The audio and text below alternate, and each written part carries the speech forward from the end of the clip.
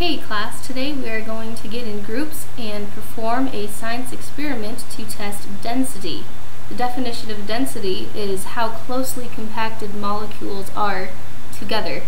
So, a heavier, uh, a substance with more density would be heavier. So meaning that uh, two different substances, one of light density and one of uh, heavier density, the heavier one would sink to the bottom of the lighter one. So here's the experiment we are going to do. Let me turn it so you can see. Okay, so right here we have our cup of water and we also have a thing of oil right here.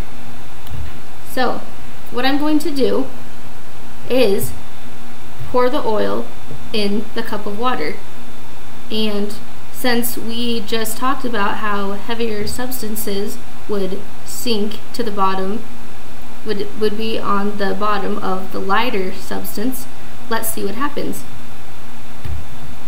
Think about what's going to happen while I do this. So here I go, I'm pouring the oil in. And, oh, what is it doing? It's all bubbling to the top.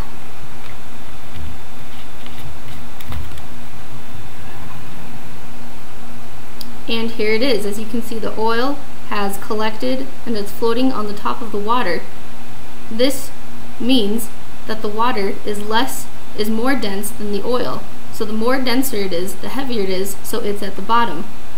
And the oil is less dense, so it collects at the top. Alright, thank you for participating today, class.